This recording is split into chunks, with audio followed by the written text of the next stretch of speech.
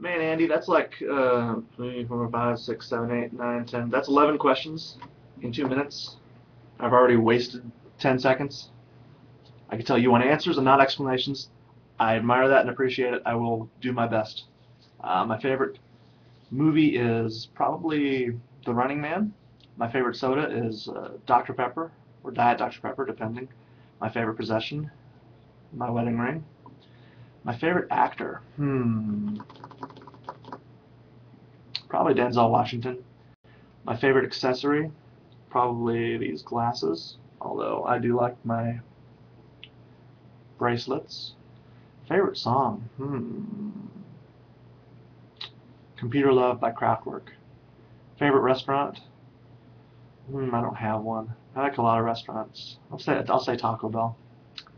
Favorite sport, currently American football. To watch, not to play. Favorite condiment?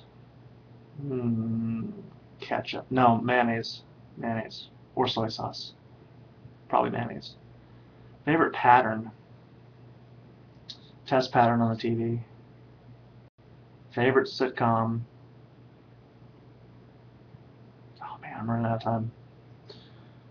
I'll say soap.